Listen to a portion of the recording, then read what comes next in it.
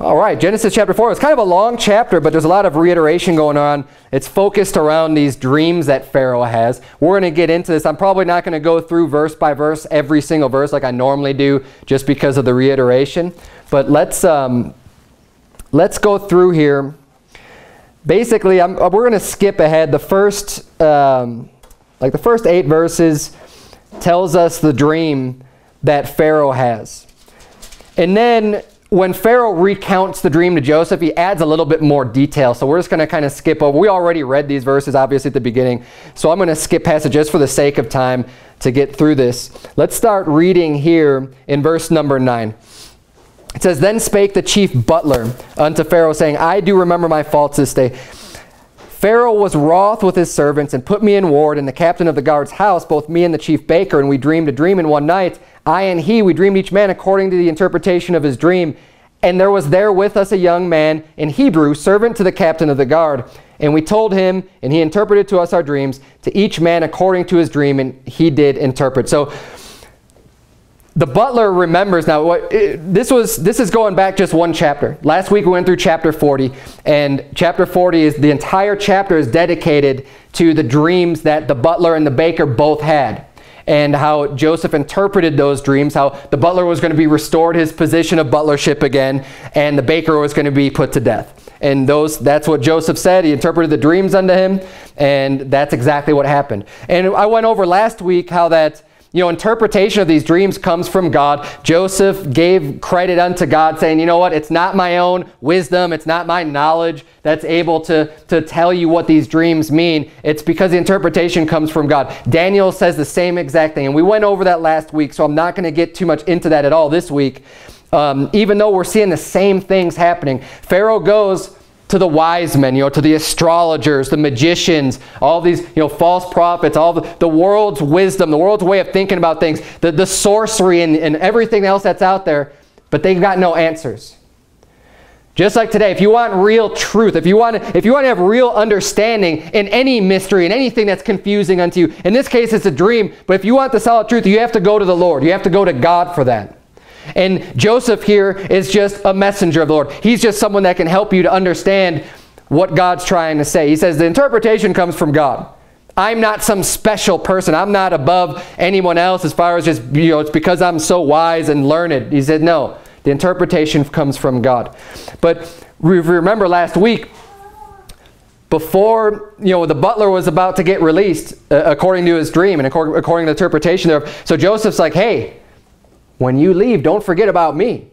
He says, I've been falsely imprisoned. I was sold into slavery by my family. And even here, the, where I am in prison, I did, it's because I didn't do anything wrong. He says, I was falsely accused, even being thrown into the dungeon. I don't belong here. Remember me when it comes well with you and you go back unto Pharaoh. Remember me and speak well of me. But of course, the butler forgets. But now, Pharaoh's having all of these dreams. And it's, it's been two years. And the first verse says it's been two years after, after the butler was, was released from prison.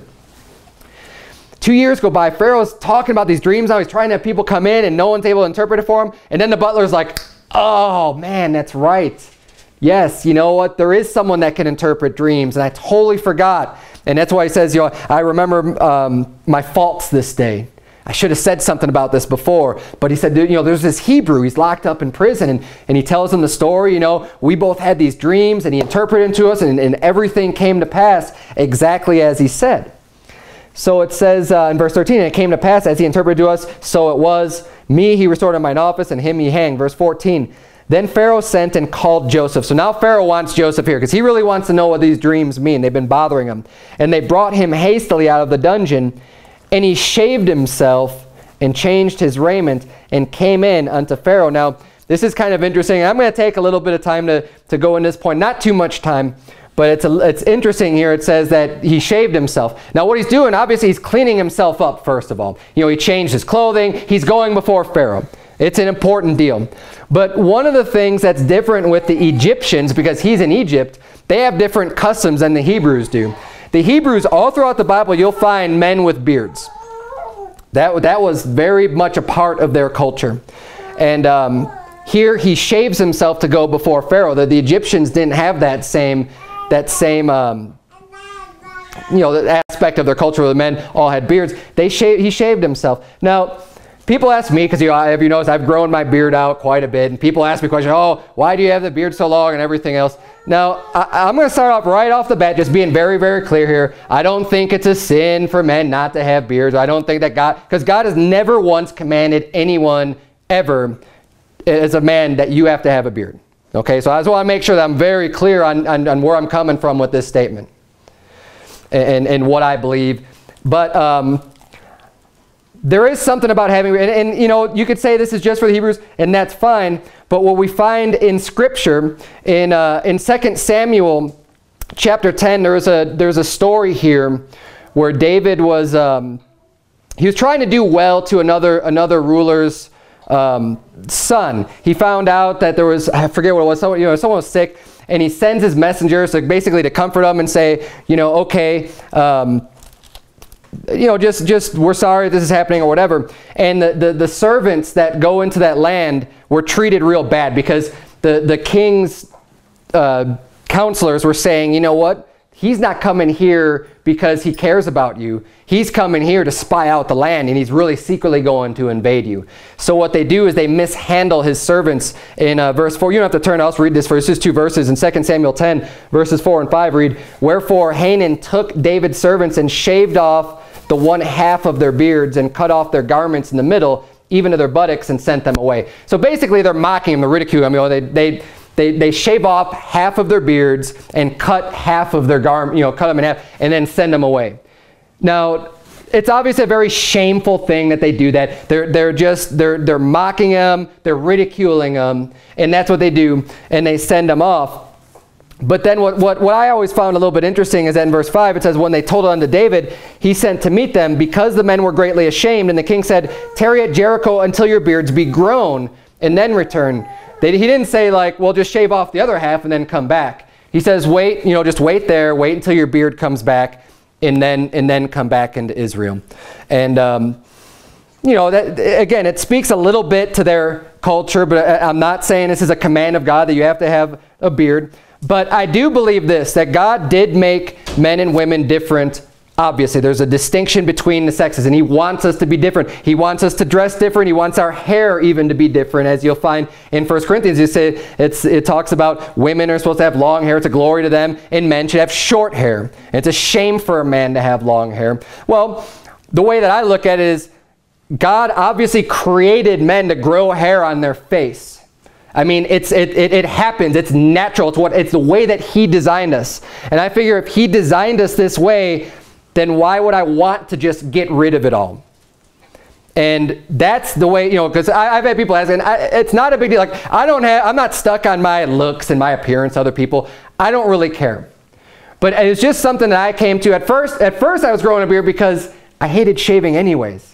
Because it's just, you can say a little bit louder, amen, that's fine, I, I, I hear that. because it's kind of a pain, right? And it's expensive to buy all those razors and stuff, and it's just like, you know what? I'm sick of this. I, I, I'm, I don't want to deal with this. But then after a while, I was thinking about more, you know what? God made me with, to, to grow hair on my face. Why am I getting rid of it all the time? I'm just going to let it go. Now, do what you want to do. Again, I, I don't think you're insane if you shave or anything. I don't think that for one second. I don't think there's a problem with it. I just look at it as a fact of it's one more distinguishing feature that God has created between men and women, so why shave? So why get rid of it? And, and that's the kind of the point where I come from. And then when you look at God's chosen people, that it was a part of their culture, I think it was a part of their culture for a good reason. I mean, Egypt is viewed at, as, as heathen and as the world. In the Bible, that's, that's a very common theme. And Israel is, is looked on as God's chosen people and, and people who should be doing the right thing. Um, I've got, there's multiple references to this. There's one reference, I didn't, I didn't put it down here, but Aaron, it talks about his beard and oil going and, and reaching all the way down to his toes. And it, it sounds like it's his beard goes down to his toes, but I don't think that's necessarily the case. So I didn't include it. I don't want to, I don't want to be preaching something that's just inaccurate. But um, also in Jeremiah 48, we see um, when people's beards are, are being clipped or trimmed or shaven, it's, it's something that's done in like sorrow and grieving. And in Jeremiah 48, verse 36, the Bible reads, Therefore mine heart shall sound for Moab like pipes, and mine heart shall sound like pipes for the men of Kirheres, because the riches that he hath gotten are perished. So he's talking about the city Kirheres, and the riches are perished. You know, they've gone into poverty. And then it says in verse 37, For every head shall be bald, and every beard clipped. Upon all the hands shall be cuttings, and upon the loins sackcloth.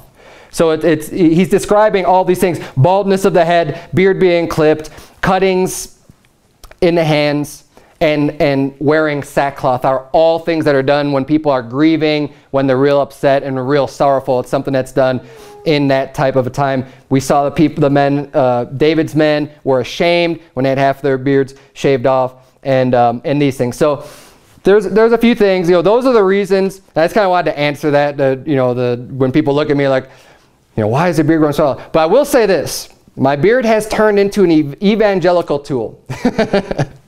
I was out soul winning a few weeks ago, and I was, I was on one side of the street, and there's, there's another group on the other side of the street, and I saw a guy who was standing in his driveway, but I didn't approach him because the other guys were coming up real close anyway, so I was like, I'll let them talk to him. And as I was walking, no, he stopped me, he says, he says, hey man, how did you get your beard to grow so long? So I was like, sweet, you know, it's great opportunity, you know, because you always love those opportunities, when so, especially when someone approaches you. Hey, you start talking to me, guess what? I'm going to be giving you the gospel because you start talking to me about stuff, that's fair game. And not that I wouldn't, I, I, would have normally approached him anyways, but like I said, there's another group coming up. But to me, I was I, I, after that conversation, I was just like, cool, you know, hey, at least now I could say that there's, there's another legitimate reason for having a beard because I had someone actually stop me and ask me about it, and then I could, uh, I had an opportunity to, to preach the gospel unto him. Uh, obviously, I'm kind of joking about that, but it was, uh, that was a real story though. So, like I said, you know, I, I don't want to go too far on that point. We need to, there's a lot more in this chapter. But when it said that Joseph shaved himself, you know, he was doing that. And again, Joseph is looked at as a man who was very righteous. He was right with God, and God was with him. So if Joseph's shaving his beard off, you know, I doubt that, you know, it's not a sin to shave your beard. And again, it's not a sin because the Bible never says it is. But just one more example, you know, if you, you may work for a place, and your boss might want you to be clean shaven. So like if you're a Christian man, just be like, well, I can't do that. Get, no, you know, I don't think there's any problem with that. If it's going to please your boss, then fine, whatever. Like if there was something that my boss really wanted me to do and I wanted to keep that job, I, I would just be like, fine, whatever, I'll shave. That's, that's, that's the way that I would deal with it. I don't think it's that big of a deal. Um, and we see here Joseph doing the same thing. Uh, we, we saw, you know, and you can't just say, well, um, it's because he was a slave or something. Well, look at Daniel when Daniel was, was given you know, wine and the, and the meat to eat that was offered on idols, he refused them. And he did it tactfully, but he, he refused them, even though he was brought a slave, basically, when they were brought captive. It's the same situation. Joseph and Daniel are very similar characters in, in, many, in many regards in the Bible, but um, I, I firmly believe that, that, if it was a sin to shave, you know, Joseph wouldn't have done it. But here we see he does shave. He goes and, and he's like, okay, I'm going to clean myself up. I'm going to look good for Pharaoh. And um, he goes before Pharaoh. So let's continue on here. Verse number 15. And Pharaoh said unto Joseph, I have dreamed a dream, and there is none that can interpret it. And I have heard say of thee that thou canst understand a dream to interpret it. And Joseph answered Pharaoh, saying, it is not in me, God shall give Pharaoh an answer of peace. So we see there again, Joseph's giving all the credit to God, as he did with the, with the butler and the baker in the previous chapter. He says, not me, it's God. Verse 17, And Pharaoh said unto Joseph, In my dream, behold, I stood upon the bank of the river. And behold, there came up out of the river seven kine. Kine, kine is just the plural for cow. It's just, there's, there's all these cows, basically. It's these kine um, on the river fat-fleshed and well-favored, and they fed in a meadow. And behold, seven other kine came up after them, poor and very ill-favored, and lean-fleshed, such as I never saw in all, of the, in all the land of Egypt for badness. And the lean and the ill-favored kine did eat up the first seven fat kine. And when they had eaten them up, it could not be known that they had eaten them, but they were still ill-favored as at the beginning. So I awoke. So his first dream He's got these real nice, big, fat cows that are that are come up out of the river and they're grazing in a meadow and they're eating and they're nice and big and fat fleshed. And then he says, after that, another seven cows come up out of the river, but they're real skinny and decrepit looking and just, and just emaciated. And they come and they eat the other fat cows. But you would think after eating these other fat cows that they would be big and full now. And he says, no, they're still just as emaciated. They're still extremely bad. He's like, I've never seen cows look this bad before, ever in all the land of Egypt look that decrepit and that, and that sick and that ill. This is the dream that he had. And then he has a second dream where it's the, it's the stalks. It's, it's a corn, right? So he's got one stalk comes up and he's seven nice, big, juicy, fat ears of corn grow on it. And then another one comes up after it and it's, it's the same thing. It's these withered, shriveled, you know, it's the east wind blasted on it and this corn that's just, that's just not juicy at all, real dry, come up after it and, and it's the same thing. They consume the good ears and um, he's basically, these are the dreams that he has. And um, he, he says here in verse number 24, and the thin ears devoured the seven good ears. And I told this unto the magicians, but there was none that could declare it to me. And Joseph said unto Pharaoh, The dream of Pharaoh is one. God hath showed Pharaoh what he is about to do. So now Joseph explains that they're two separate dreams, but they're both about the same exact thing. He says that you know the, the two dreams that you're having are both regarding the same event and that God is showing you what's going to happen. God's actually giving you, you know, a, a peek into the future. God's telling you what is going to pass here very shortly. And Joseph expounds the dream unto him. And he explains in verse 26, the seven good kine are seven years. And the seven good years are seven years. The dream is one. So he's saying, you know, the good, the good ones that came up, that's seven years. It's going to be seven years of plenty. It's going to be seven years of good times where things are real bountiful. Things are going great. You know, you're, you're, you're reaping good yields on your harvest. Everything's going good for seven years. But then after that, the, the, bat, the, the famine is going to come in seven years. And basically, the famine is going to be so bad that for as good as it was for those seven years, it's going to mean nothing when the famine hits. And you think now, you might be doing, you could think of years, maybe you've done well at your job and you've, you've been blessed and you have extra stuff coming in and you have extra goods. And then things might not go as well for a while, but you're still okay because you've been doing so well prior to that, right? That you could kind of ride it out a little bit longer just because things have been going so well. He says this famine is going to be so bad that it's going to be like you didn't even have those good years. It's going to be so bad that, that it'll be like nothing. And that's exactly what happens. But let's, let's keep going here. He explains, uh, let's jump, jump down a little bit.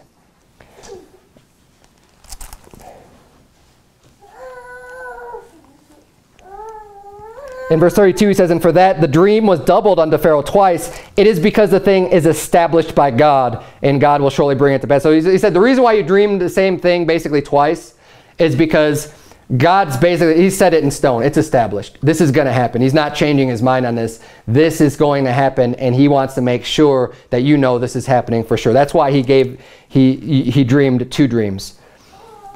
Verse 33, Now therefore let Pharaoh look out a man discreet and wise and set him over the land of Egypt. And I, and I love how Joseph does this because he just asked, Pharaoh just asked him for the interpretation of the dream. But now Joseph is offering up his advice as well uh, he didn't, you know, Pharaoh didn't ask for it, but he's offering it up to him. And he's telling him what he needs to do. And it's great advice. Joseph's full of wisdom and knowledge here, and he's given Pharaoh excellent advice. And he tells him, Look out a man, discreet and wise, send him over the land of Egypt. Verse 34, Let Pharaoh do this, and let him appoint officers over the land, and take up the fifth part of the land of Egypt in the seven plenteous years. And let them gather all the food of those good years that come, and lay up corn under the hand of Pharaoh. And let them keep food in the cities. And that food shall be for store to the land against the seven years of famine which shall be in the land of Egypt, that the land perish not through the famine.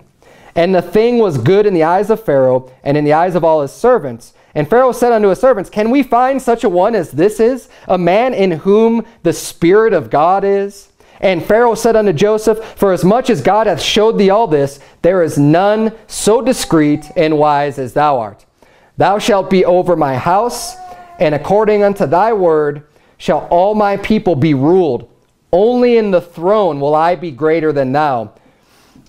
And Pharaoh said unto Joseph, See, I have set thee over all the land of Egypt. Now this is an incredible blessing of God unto Joseph.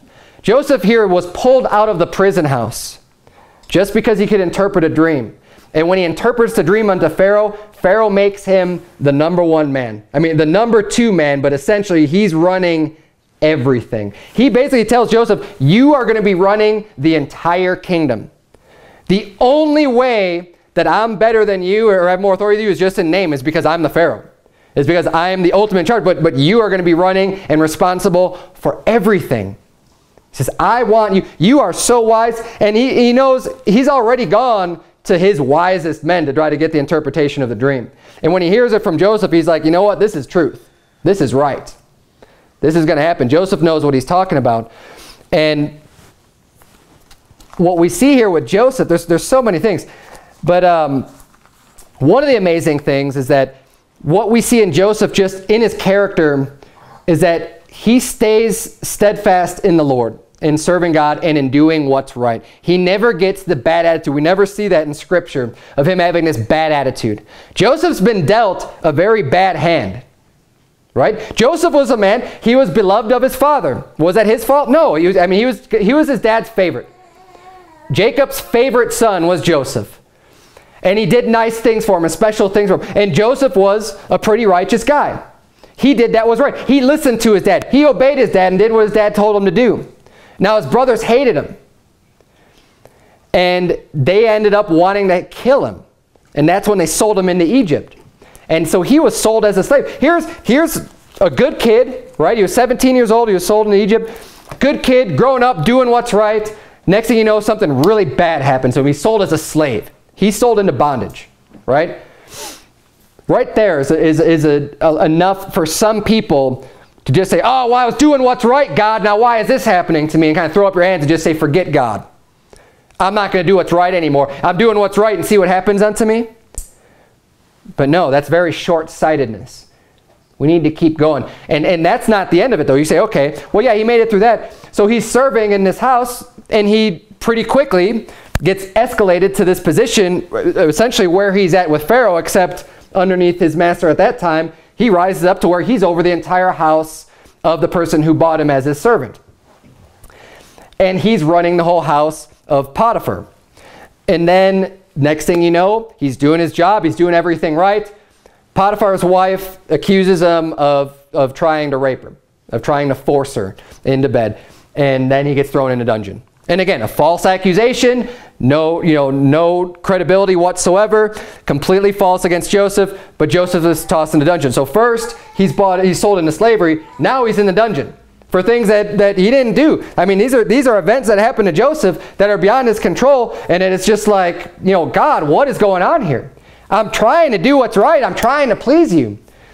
But I love what the Bible says that God is still, the whole way, God is with him because he's maintaining his integrity. He's not charging God falsely. He's not, he's not accusing God of, of being you know, mean or wrong or, or, or judging God in, in what he's going through. He's, he's doing the best that he can with where he's at. And even in prison, he, he gets to the point to where he's in charge of all the prisoners. God has escalated his position in there. Why? Because whatever position he's in, he's just trying to do his best at it. He's trying to live as righteously as possible in, in, regardless of his scenario, regardless of his circumstances. That's what he's doing. And then, of course, the same thing happens now. He's, he's released from prison, and then he ends up now in pretty much the highest position anyone could ever hope for because you can't hope to be Pharaoh. You know, the Pharaohs were, were um, I believe they were born into that position, but being over the entire kingdom of Egypt is pretty significant. So Joseph has been escalated to that position now, and that um, he's in charge of everything. But I want to focus now for the majority of the time on this concept of how Joseph handles the coming threat, knowing that these bad times are going to come. His, his advice, his godly wisdom is to prepare for that and take up store. And he says to basically that they need to take up one-fifth. you know, his plan is to tax the people. In verse number 34, it says, Let Pharaoh do this, and let him appoint officers over the land and take up the fifth part of the land of Egypt in the seven plenteous years. So he's taken 20% Everything, all the crop yields, everything that grows, we need to take 20% of that in the seven years that are, that are to come. Because we need to make sure that we're going to be able, we're going to have enough to make it through this, the years of famine, the seven years of famine. And this is what he, you know, he was saying is, is good to do. And this is very wise, sound advice to take. Is say, hey, we need to lay up some stuff in store in order to get us through the hard times to come. Now, I was torn on this, on this subject a little bit a while ago, but not, not too torn on it, is the subject of prepping and being, you know, it's, it's gotten to be a real, a real popular thing you know, and they, they, I guess they make these TV shows and all kinds of things, the doomsday preppers and all this other stuff. And there's a, there's a point to where I think it's absolutely ridiculous and, and you shouldn't be going too far with it. But there is definitely wisdom in prepping. Now, I don't think that Christians should be just planning, you know, having all these, these other locations set up and running to the hills and setting up your fortress and your compound and all this other stuff. I don't think we need to do that. I think we need to be ready to stay strong and to, and to preach the gospel and to do everything that we can for God up until the point where it says, you know, when you, you know, and it'll be known in Matthew 24, it says that, uh, you know, then shall they, you know, it, it's time to run into the mountains. And, and at that point, you're not even going back into your house to get anything. He's like, it's just time to go. And that to me is going to be, I read that, that's a very short period of time when it gets that absolutely bad where like you just have to, to flee for, for just not being put to death. Um, all throughout the Bible, we see people making stands. And it's a very biblical concept to make a stand and to just, to just stand for the truth, preach the, the truth about Christ. So with the prepping thing, you know, I don't think we need to get way, you know, build these underground bunkers and all this other stuff, which I admit they're kind of cool seeing that stuff, but it's, it's just a, I think it's just a big waste of time and we don't need to do that. But there is wisdom in being prepared. And being prepared in general, first of all, just for bad times, you know, I, I think it's a good, I don't think it's something we should be focused on and, and, just, and just eating up all of our attention and saying, well, I need to make more money because I need to have all this food and guns and ammo and silver and gold and all this other stuff stocked up. And that, that consumes your time to where you're not doing what's right by God and by the Bible and, and just doing the things that you need to be, you know, righteous living. But if you do do those things, if you have the resources and you're able to put some stuff aside, I don't think there's anything wrong or sinful about that either. I think it's actually pretty wise to do. When you know that something is going to come ahead, hey, preparing for that time of, of hardship makes sense. And we know that we are going to be going through a time of tribulation. Well, we don't, we don't know that specifically that we will, but we know that there is a time of tribulation coming. We know that it's coming. We don't know exactly when it's going to come.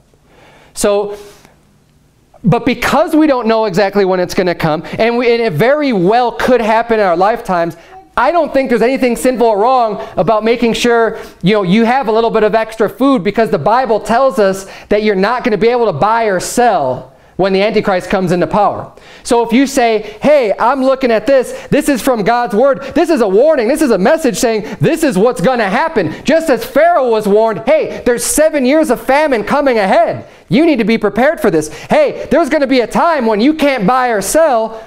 There's nothing wrong with being prepared for that time. I think that's perfectly good and wise to do something like that. I think it's wise to be able to have a little bit of uh, extra set aside. Now, Here's why I was a little bit torn about this issue and the idea of, of kind of being prepped is because you always have to be able to reconcile passages in the Bible with each other. We need to understand what is it that God really wants us to do? What is it that makes sense? You could say, okay, well, yeah, for this time in Egypt, that's a very specific scenario. God specifically was telling him that this was going to happen in a dream. But God, but see, I also point out, God didn't say, to stock up food for it. That was what Joseph said. But Joseph had some good godly wisdom to provide. And that's how they got through those seven years of famine also is because of what Joseph did. It did carry them through. And it was the right counsel to give.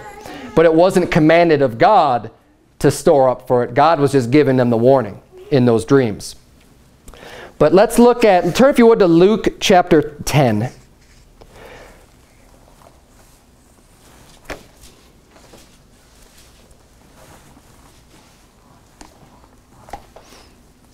Luke chapter 10. I'm going to spend the majority of the sermon tonight just, just going into this concept of being prepared and prepping, especially for like the end times, right? The, wor the worst case scenario here that, that, that maybe the end times are coming real soon and we're going to have to go through that and being prepared for that. Look at verse number 2 of Luke 10. Well, let's just start reading verse number 1 just because we're there anyways. Verse number 1. After these things, the Lord appointed other 70 also and sent them two and two before his face into every city and place, whither he himself would come. Therefore said he unto them, The harvest truly is great, but the laborers are few. Pray ye therefore the Lord of the harvest, that he would send forth laborers into his harvest. Go your ways, behold, I send you forth as lambs among wolves. Carry neither purse, nor scrip, nor shoes, and salute no man by the way. And into whatsoever house ye enter, first say, Peace be to this house. So this is when Jesus Christ, a little bit earlier on, Jesus Christ is sending out his, his disciples and sending them out to preach the gospel. And he's saying, you know what, the harvest is great, you know, laborers are few. Let, pray God that we can have more people doing this. But when he sends them out, he says, go your way. I send you forth as lambs among wolves. I'm sending you forth, you know, there's a lot of danger out there. There's wolves out there waiting to attack, and you're like lambs. And you're going out to do my work. There's a lot of people that are going to be waiting to pounce on you and attack you. But when Jesus was with them and he's sending them out, he says, carry neither purse, nor scrip, nor shoes. And so no matter, he's saying, don't, you know, basically, you don't have to take anything with you because I'm with you and I'm telling you to do this. This was early on in his ministry. Now flip over to Luke 22. When Jesus was with them, he says, you don't need to bring money. You don't need to bring shoes. You know, you will be completely taken care of. You are as lambs going amongst wolves, but I'm with you the whole way. Luke number Luke chapter 22, look at verse 35. Luke 22, 35 says, And he said unto them, When I sent you without purse and scrip and shoes, lacked ye anything? And they said nothing. So now he's bringing up what we just read. That's the reference we just read. When I sent you out and you didn't have any of that stuff, did you lack anything? Was there anything that you needed that you didn't have? And they're like, no. We were, we were absolutely fine. They listened as he commanded, and they were just fine. Verse number 36, but look at what he says here. Then said he unto him, But now, he that hath a purse, let him take it, and likewise his scrip. And he that hath no sword, let him sell his garment and buy one. So now Jesus is saying something different. Right? First he says, don't worry about any of that stuff. Just go out and do what I told you to do. You're going to be taken care of. He's saying, now though, you're going to need to take money with you. Hey, you're even going to need to take a sword.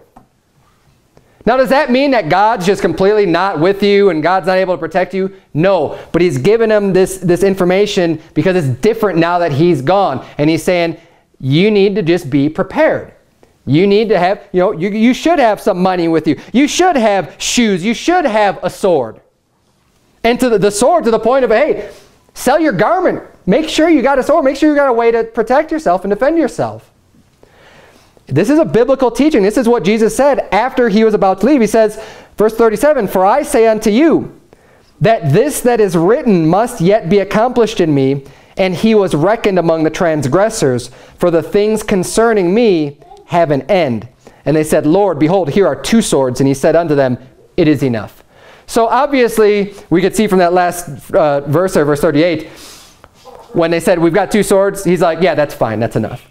You don't need to go overboard with your, your prepping. Now look, I love guns. I love shooting them. And to me, it's, it's like a hobby. So like, like I like to collect a lot. It's not because I'm thinking, oh, I need to have, you know, this whole arsenal to fight off the government at my door. You know, that's not going to happen. First of all, you know, this, this idea of like you being able to shoot your way out of the government, it's always going to fail because they have a never-ending supply of resources to continue coming and continue coming. It's just, it's not going to work. So we need to be smart about it too. Think ahead about it. If, if that's what your, your plan is, that you say, well, I've got all these guns and ammo and food, and I'm going to say, holed up in my house, and, and you know, no. This, the result's going to be exactly the same. That's not a very wise tactical decision because you can look at events where this has already happened. You can look at Waco, Texas and see what happened there in the building that got demolished and, and set on fire with kids and women and, and men, you know, everyone in there burned alive at the hands of the government. Now, they had guns there. They could defend themselves for a little bit. But the same thing with Ruby Ridge. right? They had guns, they had, they had a stronghold or whatever, but when you're fighting against the government, you're not going to win. You can't just, just defend your house and, and take this position and think that the tanks and, and all the arsenal and everything that the government has, you're just going to be able to, to somehow, you know, be able to defeat them. It's not going to happen. Which is why you don't need to, to store up all, you know, stockpile all this weapons and everything else. But it's still wise to have, like you said, get a, get a sword. Get a way to defend yourself. But you don't need to, you don't need to stockpile everything and just and just have this huge arsenal. Um, and and that's why. And I, and I think we can see that balance. And we ought to keep that balance too as Christians. When you're thinking about how should I be preparing for end times, well, try to keep a good balance. You know, should we? You know, it's going to be perilous times. In the end times, it's perilous times. It's going to be more violence. You know, the Bible says, as the days of Noe were, and, and the days of Lot, so shall it be at the end of the world. In the days of Noah and in the days of Lot, we see great violence. Right before the flood, it was, it was said, you know, that that's why God destroyed the whole world, is because people were being violent to each other and killing each other and doing all kinds of bad things. And in the same thing with Lot, you had the Sodomites surrounding the house and trying to force themselves on the people, and that was very perilous times as well. So we need to be able to defend ourselves in these perilous times. But again, we don't have to go overboard with it. Turn, if you would, to Matthew chapter 6. Because here's going to be another thing that we have to reconcile and make sure that we have the right outlook when we're considering how much should we be pre preparing and being ready for end times. And what is it really that God cares about and what should we be doing that would be considered biblical. Matthew 6 verse 19. Because we're told not to care about the treasures of this world. Matthew 6:19 says, "Lay not up for yourselves treasures upon earth, where moth and rust doth corrupt, and where thieves break through and steal. But lay up for yourselves treasures in heaven, where neither moth nor rust doth corrupt, and where thieves do not break through nor steal. For where your treasure is, there will your heart be also." Now, this obviously these verses are completely true. But what I, I don't think this is referring to having extra food saved up in your, in your pantry for hard times that are to come. This is referring to your heart and what you're focused on. Now, if you're going to set all of your focus on just getting all of this food and laying that up for yourself, that's the wrong focus. But if you're focused on serving God and doing his will and focused on the things of heaven and then on the side, you know, just, just being, hey, I'm going to be wise about this and, and as we get a little bit extra money, I'm going to put my resources this way. Two different things. This is talking about where your treasure is, there will your heart be also. I don't set up my heart on the oats or the rice that I might have, you know, like kind of put aside. That's not, that's not my treasure right? That's not something, you know, this is referring to treasure. This is referring to being focused on money and how much you can gain and, and getting all the toys and the houses and the cars and the boats and, and all this other stuff. That's where your treasure is in because you cannot serve God and mammon, which is money. Being wise with the resources that you do have and, and being able to put things aside is not the same as just being all about these things being your treasures. And if it, if it is to that point where you're so into this stuff, that is your treasure, then you're not right with God. Because it shouldn't be. But um, we, what's interesting here, it says it uses the words laying up for yourself. In 2 Corinthians 12, verse 14, the Apostle Paul says, Behold, the third time I am ready to come to you, and I will not be burdensome to you, for I seek not yours, but you. For the children ought not to lay up for the parents, but the parents for the children. So here we see an example where Paul's saying, you know, it's not right. You, you know, as a child, you shouldn't be laying up for your, for your parents. Laying up being like laying up goods and, and, and being able to provide for them and, and laying up this, this, this big thing to give unto your parents. He's saying that the parent should be laying up for their children. The parents should be, you know, working and thinking ahead and trying to do their best to help their children out to lay up for them. And that's, that's why the inheritance passes down you know, down from, from parents to child. Obviously, um, you're, you're doing what you can to help them, to propel them further and to do more than what you've done in the past. That's the whole point of being able to lay up. But here we see saying that it is the parent's job to lay up for the children. It's their responsibility. So if, if putting things aside is somehow sinful. You say, no, that's not, that's not where my treasure is, but I'm going to do my best to try to make sure my children are as well prepared as possible. That's, that's a biblical concept, and I think it can be used the same way. Hey, if I'm responsible for feeding my children and feeding my family and providing for my family, if I know that there's going to be years ahead that are going to be really bad, then I'm not doing my job if I don't have a little bit of preparation saved up so that we can get through bad times. I mean, even if you just completely forget the fact that there is going to be an antichrist and that we're not going to be able to buy or sell, what if I were just to lose my job? What if I lost my job tomorrow? Am I going to be able to feed my family? What if I got injured or hurt and I'm not able to go back to work for a while? How am I going to be able to support my family? These are things that happen all the time. What if there's some natural disaster? You know, we get, we're, we're in a society today where we become so reliant on the grocery stores. And this is a relatively new phenomenon. All throughout history, it was not like this, but now we have these superstores, and with technology, and with transportation, and with all these other resources that we have available to us today in modern society, we've gotten to the point to where most people don't have very much at home in ways of, in, in ways of food, medicine, all kinds of different things, because as soon as you need something, you go, boom, I'm, I'm, I'm going over to 24-hour Walmart. I, I'm hungry. I want a midnight snack. I'll just go out to Taco Bell. I'll go whatever. I'll just get this food. It's already made and stuff. And then I'm taken care of. This is not the way things have been throughout almost all of history. People have always had to be prepared for times to come. People have always had to be able to lay up some kind of store and some kind of stock to say, well, we don't know what the future is going to bring. Maybe bad times are going to come. Let's be prepared for that.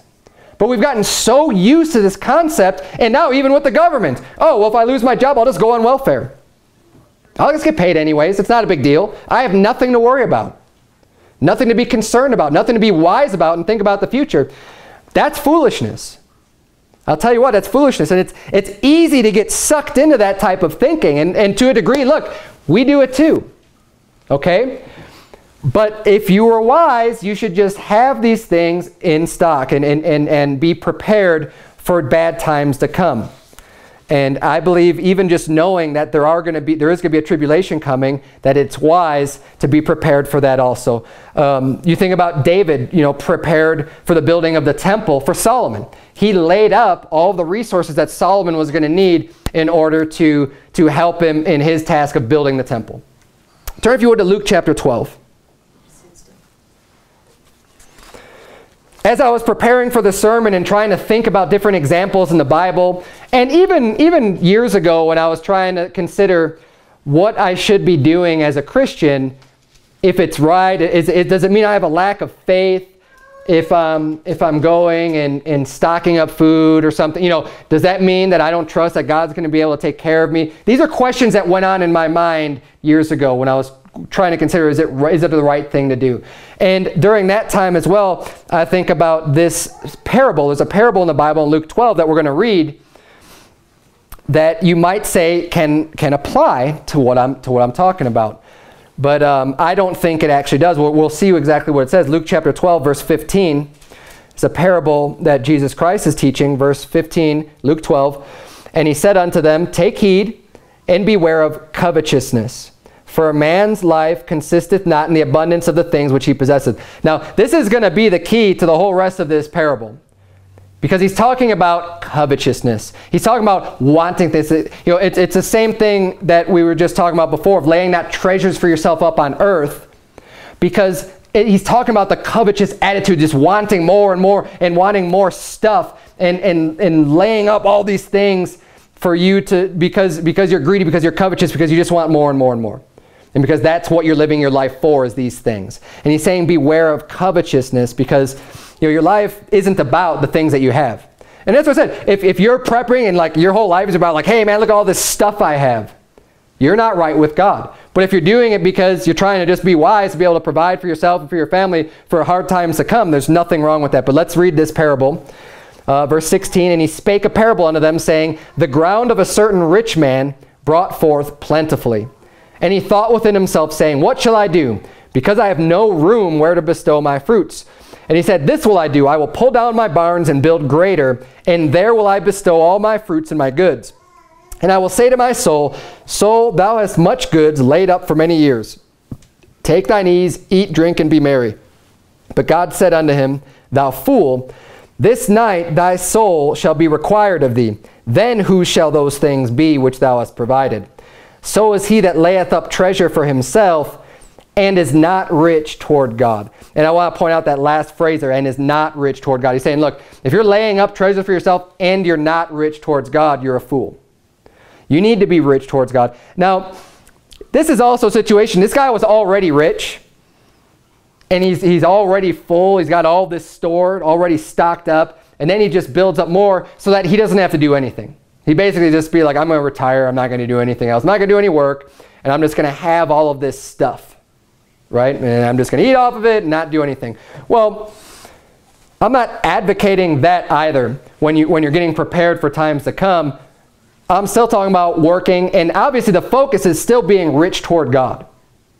That is the primary thing. So if you're worried about, you know, these times to come, the first and foremost thing that you need to get down is your walk with God and being righteous, getting sin out of your life, doing soul winning, coming to church, doing all these things are way, way, way, they're going to be way more important for you than any amount of food that you can get stocked up for yourself. So put the priority in the right place because that is way more important for you. Because I'll tell you this, God is able to see you through any times, no matter what. That is a truth. No matter what times are to come, God is capable of keeping you and making you survive, as he did with um, Elijah.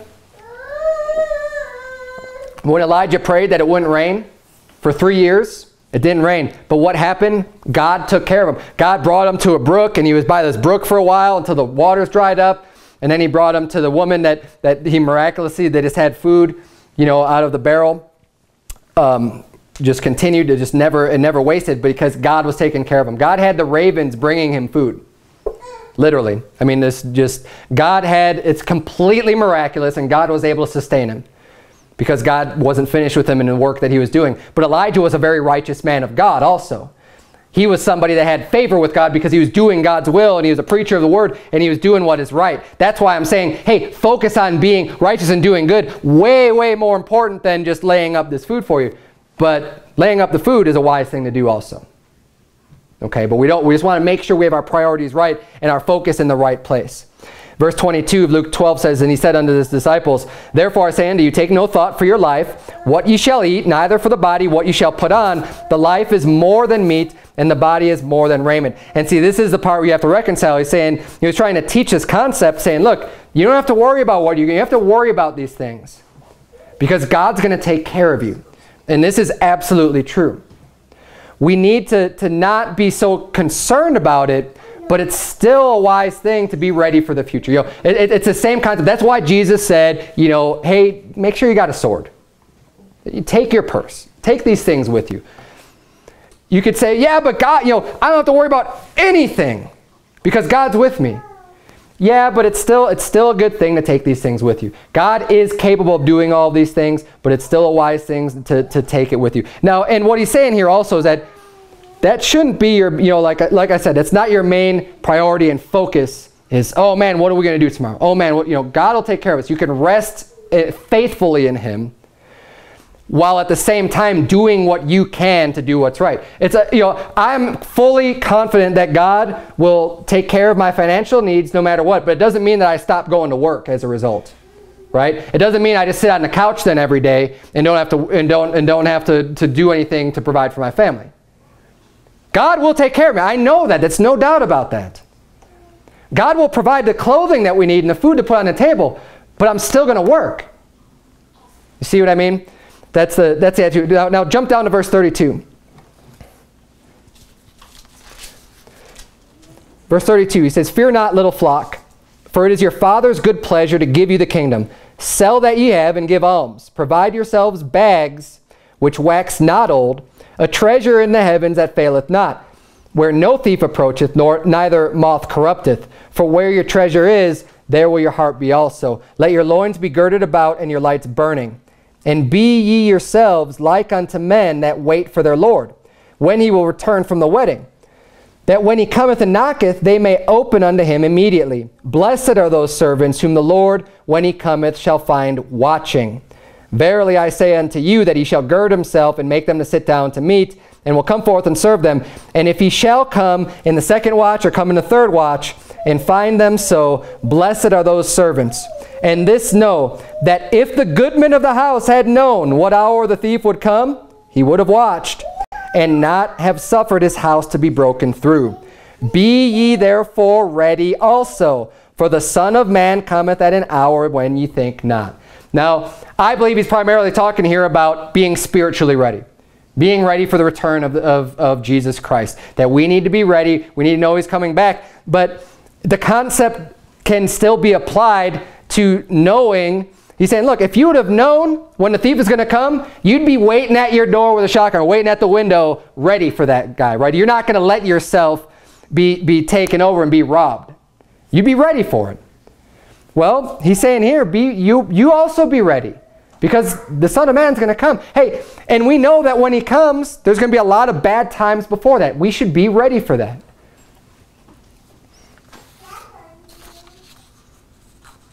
I think of, um, I'm going to turn, turn if you go to Hebrews 11. I need to find the verse for this.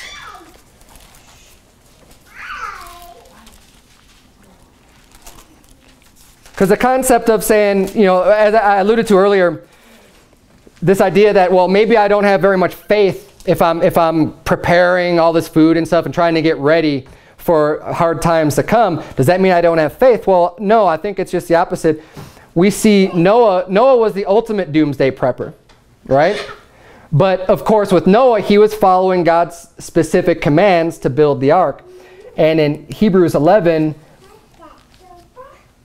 verse number 7, the Bible reads, By faith, Noah, being warned of God of things not seen as yet, moved with fear, prepared an ark to the saving of his house, by the which he condemned the world and became heir of the righteousness which is by faith. So this is saying that actually the reason why Noah built the ark is because of his faith.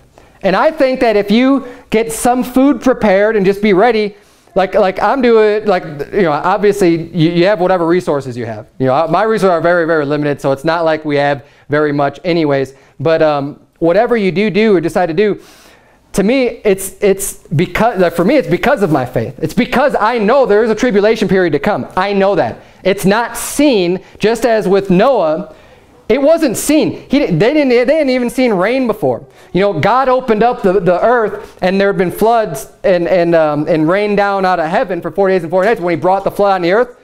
And Noah needs to, to build a boat. Why? Because he believed that it was going to happen. He believed God's word. He believed it to be true.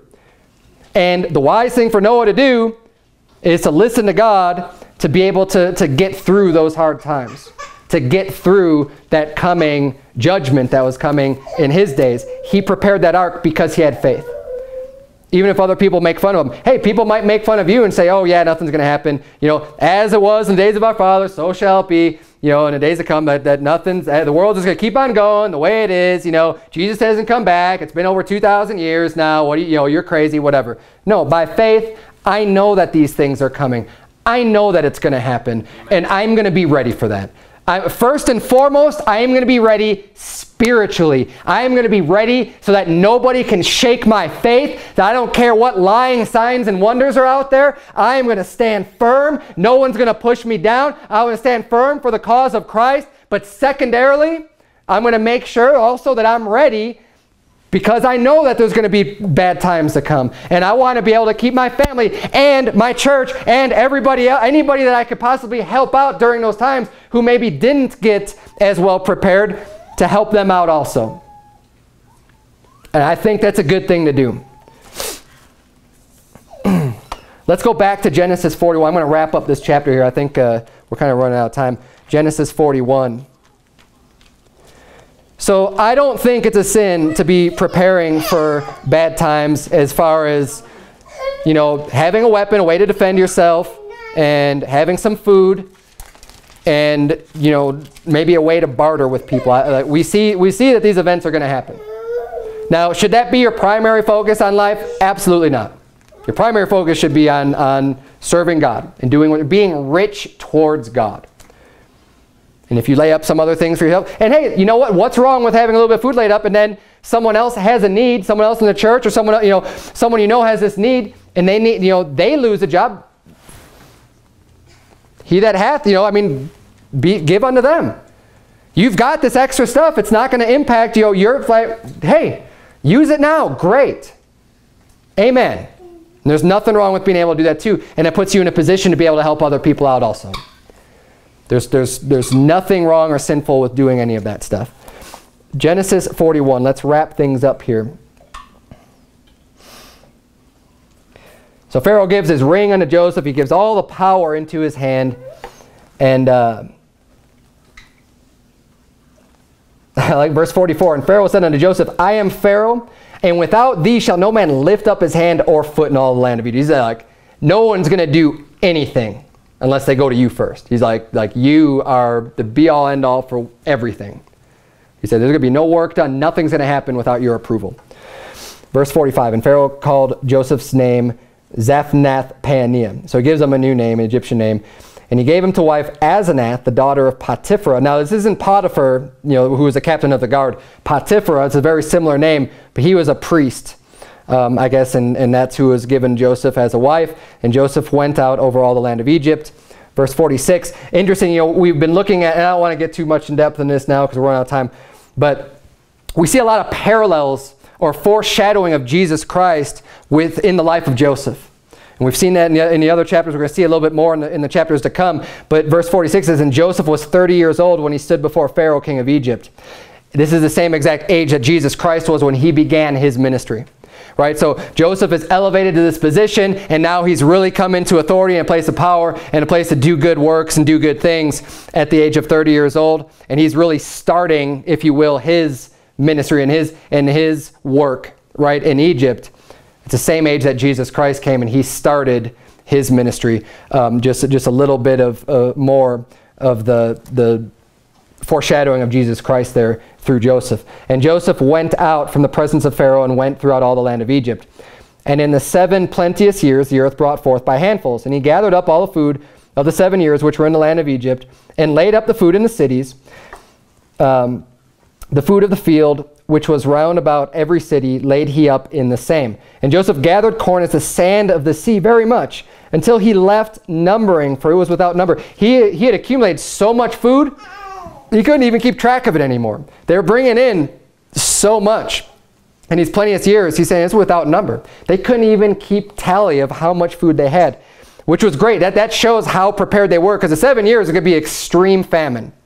And we see there's going to be people coming from all other lands also in order to get food. It didn't just affect Egypt. It affected people all around the area that were coming to get food. So they had food in abundance and then some, not just for their own people, but also to help out the other people from other countries round about.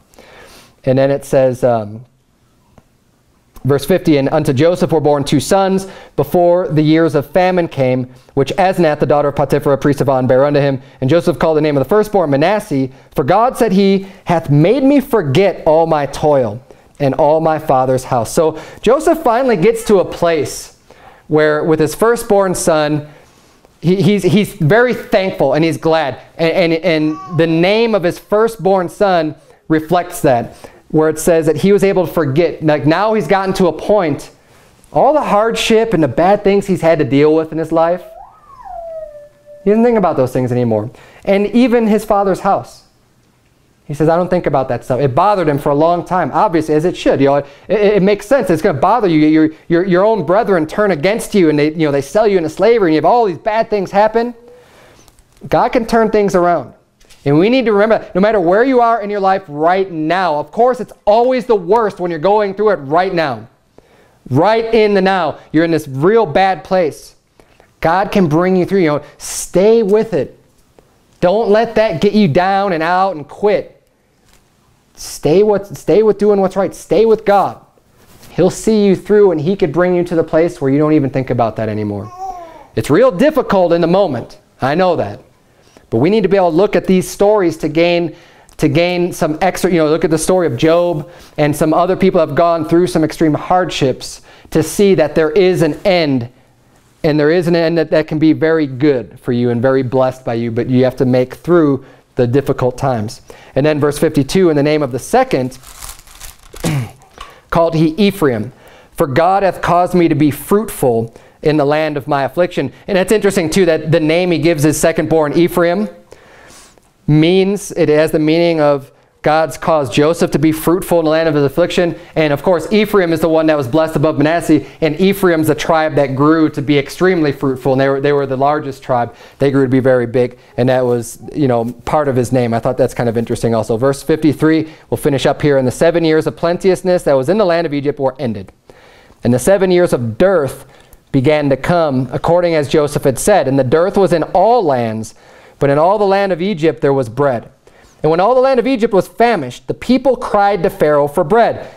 And Pharaoh said unto all the Egyptians, Go unto Joseph, what he saith to you, do. So, you know, Pharaoh still is just, he's diverting everything to Joseph, saying, okay, Joseph's the man, he's in charge, let him, you know, just go to him. And whatever he says to do, that's what we're going to do. And the famine was over all the face of the earth, and Joseph opened all the storehouses and sold unto the Egyptians. And the famine waxed sore in the land of Egypt. And all countries came into Egypt to Joseph for to buy corn because that the famine was so sore in all the lands. Now, I'm going to go into this much more. I think it's chapter 47. But does it seem right? Now, and this is why I think Joseph is doing something that's wrong. He taxed the land for the first seven years and took 20% of what they made in order to be able to provide for them when the famine came.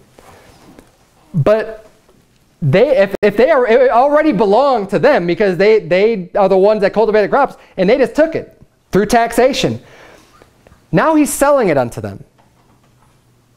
That's not right. It belonged to them before. He was just holding it up and, and storing it in place to keep it for the time when they're going to need it. It's like you know right now the government takes social security out of your check right? To, to, to give you a retirement so that the government doesn't have to take care of you later. It's supposed to be your money, right, that they're putting aside for you.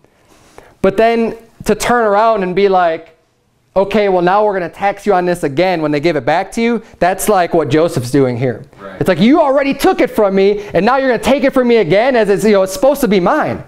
Well, this food was theirs, and now he's taxing it again, and he's charging them money to receive their own food that, that he had taken from them.